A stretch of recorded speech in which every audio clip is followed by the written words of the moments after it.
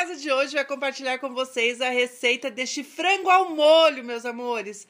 Frango ao molho que a gente fez aqui nessa panela, lá do Rei das Panelas. A receita é top, é imperdível e vale a pena você deixar bastante like para me ajudar a divulgar o vídeo. Meus amores, para a receita de hoje nós vamos precisar de 1 kg de frango temperado ou a quantidade que você quiser fazer, tá bom? Eu vou fazer com 1 kg.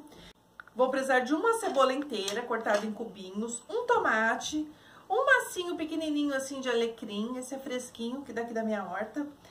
Meio pimentão, pode ser o pimentão de sua preferência. E meia xícara de chá de coentro ou cheiro verde de sua preferência. Uma folhinha de louro uma colher de sobremesa de açafrão, uma colher de chá de orégano e uma colher de chá de tempero baiano.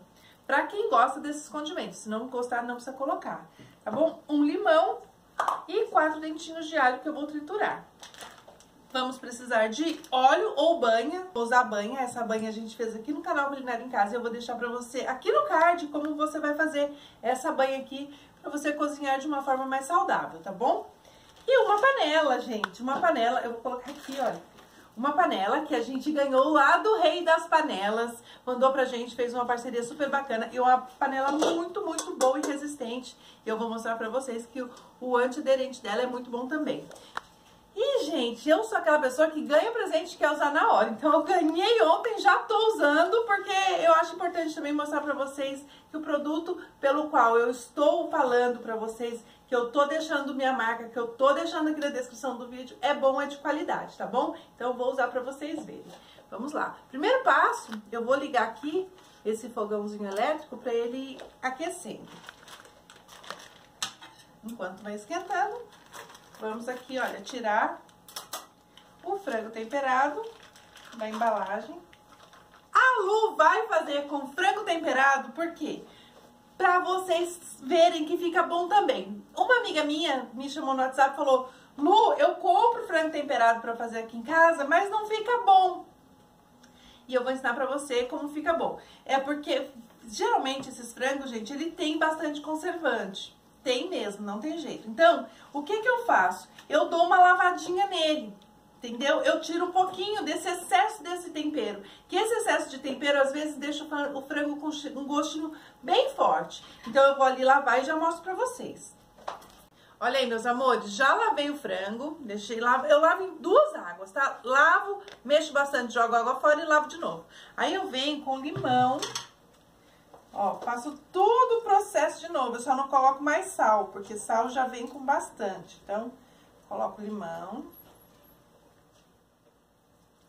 Mas eu confesso pra vocês, meus amores, que frango temperado não é o meu forte. Eu gosto de comprar o frango fresquinho pra eu mesmo temperar.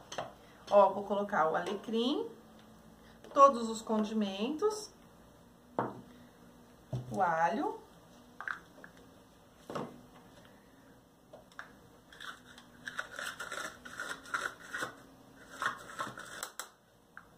O alho, um pouquinho, olha, do cheiro verde, já coloco aqui também. E a folhinha de louro.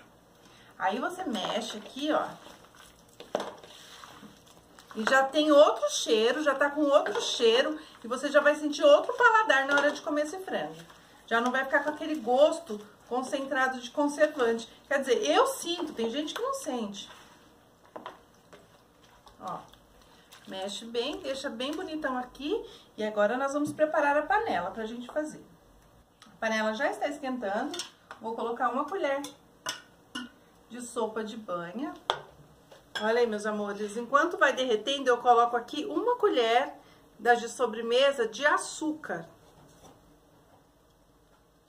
Lu, esse frango vai ficar doce? Não, não vai ficar doce. Pode fazer, que fica super gostoso, fica excelente. Deixa dourar aqui que eu já mostro pra vocês. Olha aí, meus amores, já tá bem douradinho, já caramelizou o açúcar. Agora a gente coloca o frango.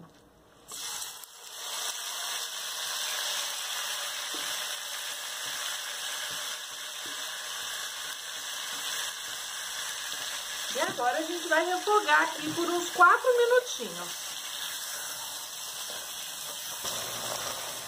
Olha aí, meus amores. O frango fica nessa coloração aqui, olha, como se fosse fritinho, por causa do açúcar que a gente queimou antes de colocar ele, que a gente fez o caramelo. Por isso ele fica com essa cor bonita, parece até que foi frito. Enquanto não ficar assim, olha, sequinho, não tá bom. Então, não sei quanto tempo vai dar aí no seu fogão, então você deixa ele refogar até ficar sequinho assim, olha. Aí você começa a acrescentar os demais ingredientes. Primeiro a cebola.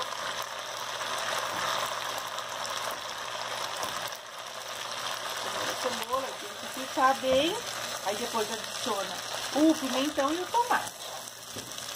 Refogou por dois minutinhos, já pode acrescentar o tomate e o pimentão. Um pouquinho do verde, deixa um pouquinho para jogar por cima, para fazer a decoração. Olha aí, meus amores, acrescentou todos os demais ingredientes, aí você tampa. Tampa e deixa por 10 minutos, meus amores. E vai olhando, se precisar colocar um pouquinho de água, você coloca, tá? Mas o meu eu vou tentar fazer sem água, porque ele falta bastante água. Olha aí, meus amores. Cinco minutinhos depois ele tá assim, olha, sequinho, tá vendo? Se você quiser, pode colocar um pouquinho de água, mas não muito. Pra não ficar muito aguado. Ó, pouquinho, cerca de 100 ml, tá? Aí mexe, tampa de novo, deixa mais cinco minutinhos. Já experimenta pra ver se tá bom de sal. Se não tiver, já arruma o sal e Bora deixar cozinhar mais 5 minutos. Olha aí, meus amores, que lindo que tá. Hum, já está prontinho. Vocês fazem essa receita aqui em fogo alto, tá? Ó, e agora é só colocar o cheirinho verde por cima pra finalizar. Experimenta o sal, vê se tá bom o sal. Hum, que cheirinho bom que tá. Olha aí, gente, que bonito. Se você gostar com mais caldo, você pode colocar um pouquinho de água. Eu coloquei só 100 ml de água porque eu quero ele mais sequinho dessa vez, tá? Então, olha, e vai mexendo. Se você vê que o seu secou muito, porque seu fogo é muito alto, você põe um pouquinho, mas pouquinho, vai pondo de 100 ml de água. Tá prontinho, gente. Espero que vocês tenham gostado. Se gostaram, não se esqueçam de deixar like para me ajudar a divulgar o vídeo, se inscrever no canal se ainda não for inscrito, porque você é muito bem-vindo aqui no Culinária em Casa e compartilhar esse vídeo aqui com seus familiares e amigos. Agora vamos experimentar. Olha aí, meus amores, vamos experimentar. Olha que lindo que tá. Já vou desligar aqui o fogo, porque senão fica muito quente. Olha. Desliguei. Hum. Olha que lindo, meus amores, com arrozinho branco, hein? Não precisa de mais nada. Olha aí a fumacinha saindo, meus amores, e o canal Culinária em Casa de hoje vai oferecer essa receita aqui para Maria do Carmo. Ela é de Recife, capital do frevo. Beijos, Maria do Carmo, que Deus te abençoe grandemente. Deus abençoe grandemente todos aí de Pernambuco. Sou muito feliz em ter vocês aqui no canal, tá bom, Maria do Carmo? Que Deus abençoe grandemente você, sua família, seu lar. E agora vamos experimentar essa delícia aqui que nós fizemos aqui no canal Culinária em Casa. Hum, vamos lá, vamos experimentar pedacinho desse frango. Olha como fica bem cozidinho, gente, olha. E esse frango temperado assim, parece, a impressão que se tem é que ele é bem mais mole mesmo, não é? E é. Vamos lá, vamos experimentar. Meu Deus. Não esquece de experimentar pra ver se tá bom de sal, tá bom? Tá fantástico. Muito obrigada por tudo, meus amores. E agora vamos à pitadinha do evangelho. Não se esqueçam de deixar like para me ajudar a divulgar o vídeo. E a pitadinha do evangelho de hoje diz assim, olha, é Salmos 85, versículo 8. Escutarei o que Deus, o Senhor, disser, porque falará de paz ao seu povo e aos seus santos, contanto que não voltem à loucura. Amém, meus amores! Quer dizer que se você cometeu alguma loucura aí e você chamar a Deus pro seu coração, ele vai te atender desde que você não volte a cometê-la, tá bom? Beijos no seu coração. Deus abençoe grandemente você, a sua família e o seu lar. Lembre-se que Deus tem um propósito em nossas vidas, tá bom? Beijos, muito obrigada e até o próximo.